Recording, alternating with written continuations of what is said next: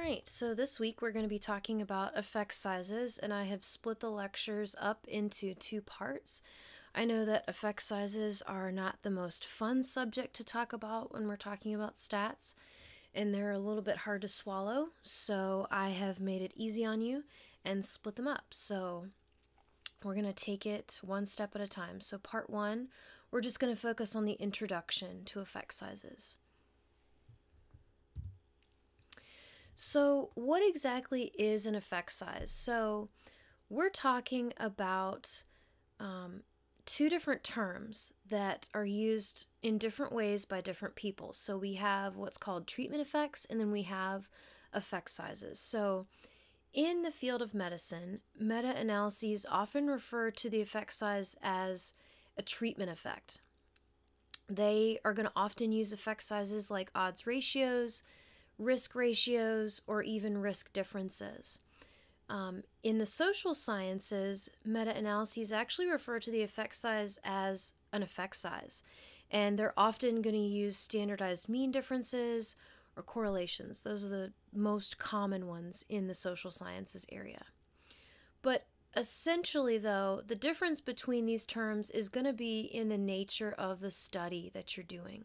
So, the term effect size is going to be appropriate when you are quantifying the relationship between two variables that you're looking at, or if you're looking at difference between groups.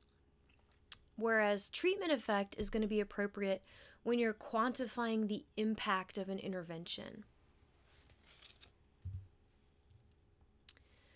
So, there are three major things that actually go into choosing an effect size. So, the first of which, effect sizes from different studies need to be comparable to one another. So, they need to be measuring the same thing. So, the data that you're collecting across studies needs to be measuring something similar. So, they need to be looking at the same construct. Secondly, estimates of the effect size should be computable from the information that's reported in the article. So, you shouldn't be pulling the raw data and having to reanalyze things.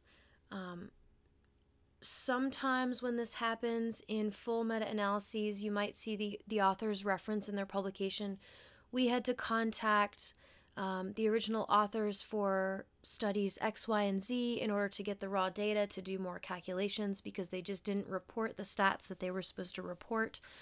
Hopefully you're not going to be doing that um, and you're generally going to standardize the effect size if you're combining data from different types of measures and lastly, the effect size should have good technical properties to it. So you need to know that the you need to know the standard error so that you can actually calculate the variance and the confidence intervals which give you your effect size weights.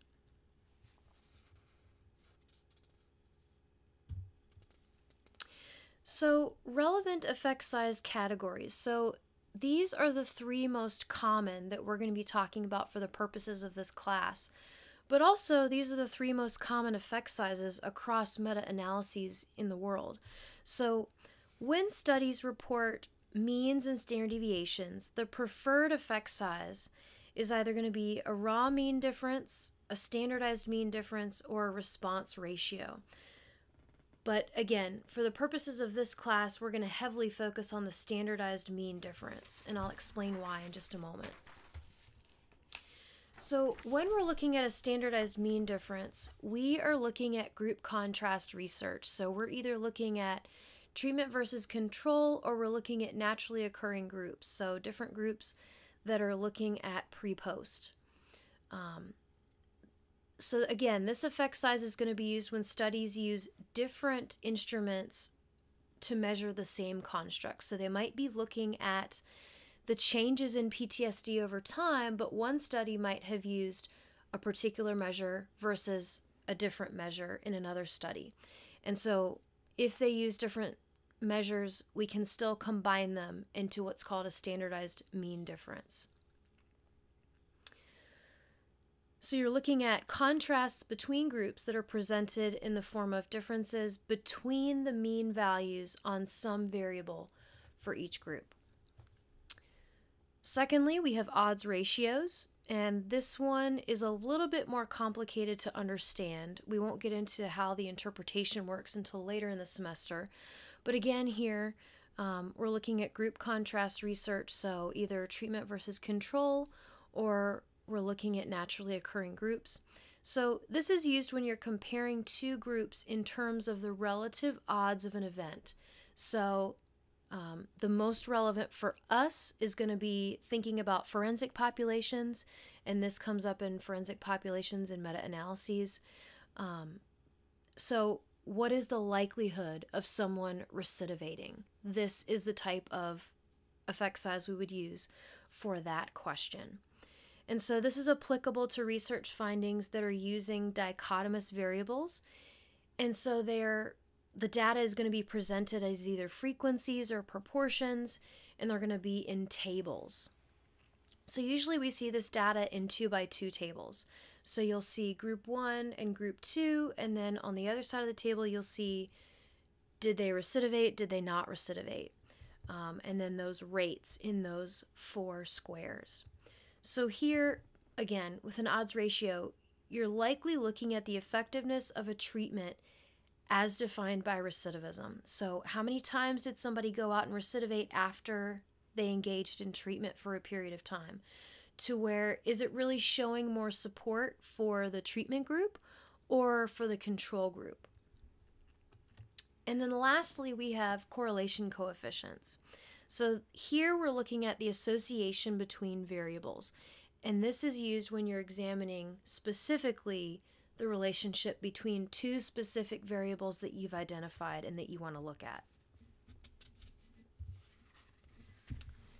So for mean differences, there are two broad relevant categories for this um, type of effect size. So we have raw mean differences, and then we also have standardized mean differences. I'll just briefly touch on raw mean differences, but it's going to be highly unlikely that we'll use this in this class and in social sciences research, and I'll explain why.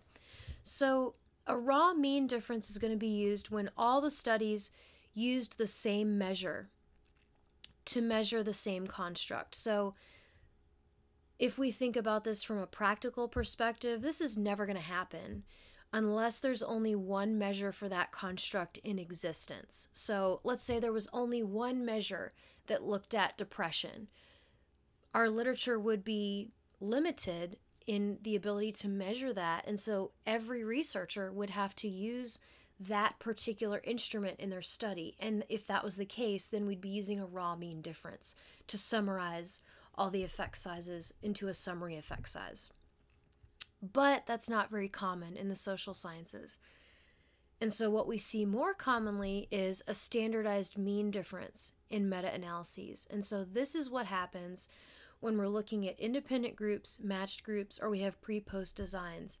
And again, researchers use different instruments across different studies, and so we're able to pull those together and still compute an effect size. So here we're going to be looking at Cohen's D versus Hedges G. So this is how a standardized mean difference is presented in a meta-analysis. So Cohen's D is the most commonly used effect size when looking at standardized mean differences. Um, but just to tell you a little bit of the history behind this, you don't need to know too much. Um, you'll learn a little bit about this for your final presentation, just so that you understand some of like the stats behind it. But um, Cohen's D is actually a little bit biased. Um, Cohen's D actually tends to overestimate the absolute value of the standardized mean difference in small samples. And so, what a lot of researchers will do in meta is they typically remove that bias just by using a simple correction, and this involves converting the Cohen's D to a Hedges G. Um, I won't get into too much of that here, but again, um, Hedges G is less biased for the standardized mean difference. Um, so again, it corrects for the sample size piece of that, and then you can see the two formulas there that you will actually become intimately familiar with on calculation assignment one for this week. So um, keep those calculations in mind, but those are calculations that are used to help make that correction. Here are a number of formulas that you're going to be using this week for the calculation assignments. Hint, hint. So you might want to come back to this slide as well as the slide before it. Actually, no, you can stay on this slide because we have both J and G values here, which you'll especially need for calculation assignment one.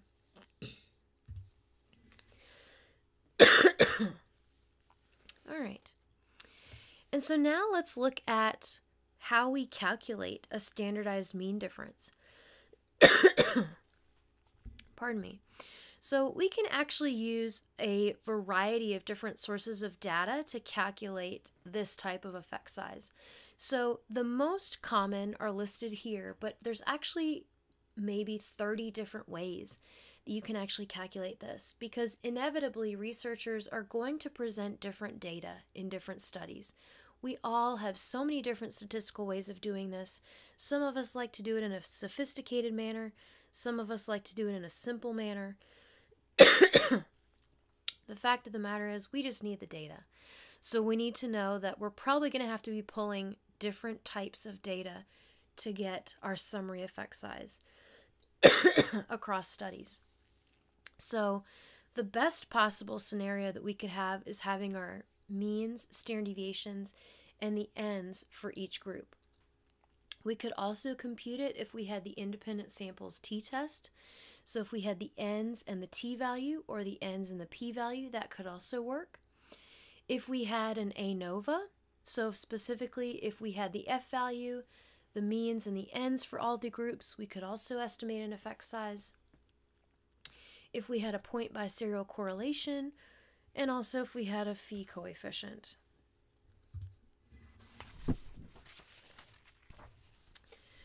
So degrees of approximation. So when we have to calculate an effect size, we should think about the degree to which we are estimating the effect. So there's going to be a level of approximation or accuracy to this depending on the data that we use.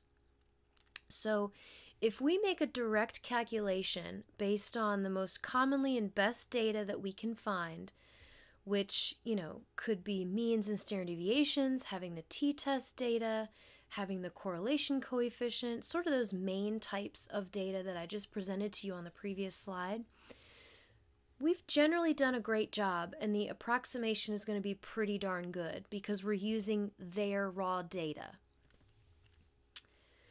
If we have to use estimates of the mean difference, so in other words, we have to do some finagling with the data in order to calculate the effect size because they didn't give us the type of raw data that we need to do these calculations, um, this then becomes less reliable, and it's only good in this instance because we're making estimates, because we're having to pool the standard deviations in order to get some of these calculations. And so it's just not as good.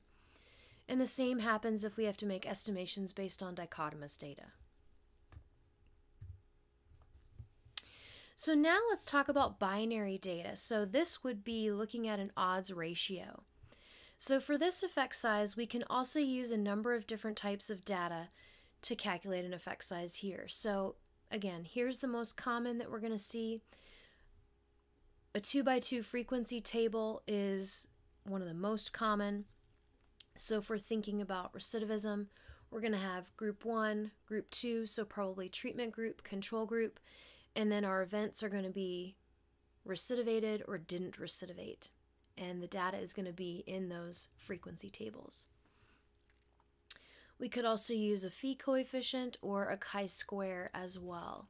And which we'll learn in the part two of the lecture, and you'll also learn in calculation assignment two, we can actually convert between effect sizes, which is an even crazier concept because sometimes um, you can express these constructs with different effect sizes. Granted, it's not as helpful if it's presented in different effect sizes, and for us to use it in a meta, we need to make sure that we are using the same effect size. So we can't summarize half of our articles in a standard mean difference and then half of our articles in an odds ratio, we can't even come to a conclusion. So if we end up having data that gives us a standardized mean difference effect size, we can then convert that into an odds ratio and then we can have all odds ratio data, if that makes sense. All right. And so the direction of the effect size, this is actually very, very critical to this process. Luckily, if you're using CMA, which is the software that we'll use to compute your data, which I own and we will run your analysis in, you actually don't have to worry about this because the program has this built in to detect automatically which direction it should go because it's detecting that on its own. But for the sake of you learning the importance of this concept, um, I'll just talk about this briefly. So, you need to make sure that the direction is the same as you continue to calculate this for your meta. So, for example, if you decide that a positive direction means that the treatment did better than the control group, then if you're seeing that the treatment group showed greater reductions in, let's say, PTSD symptoms than the control group, then you need to make sure that you assign that effect direction as positive. And let's say that you have another article in your meta that you saw that the control group actually showed greater reductions in PTSD symptoms than the treatment group. Oops. Hopefully that doesn't happen, but it does. Um, so let's say you saw that. Then that means that for that, you would set the effect direction to be negative here because that's the exact opposite premise of what you previously defined. All right, so that ends the part one to the lecture. And before we finish this lecture, I'm actually going to show you the online calculator that you're going to be using for these assignments. So here's the effect size calculator. And there's a link to this on the Moodle page on our week three. You'll see that here there are the three different types of effect sizes that we're going to use in the class that you can calculate. So if you look here and click on standardized mean difference, here are all the different ways that you can type in data and get a standardized mean difference. So, like I said, our best case scenario, we end up with means, standard deviations, and the ends of each group for the treatment and control. We can then calculate the effect size here. And you'll just enter those in in each area and then hit calculate. And then if you need to reset and re-enter in data, you can just hit the reset button there. And so here you just click and see the different types of data that you can enter in to get a standardized mean difference. Same thing with a correlation coefficient. There are a lot less possibilities here for calculating a correlation coefficient. Okay, and then we have odds ratio as well.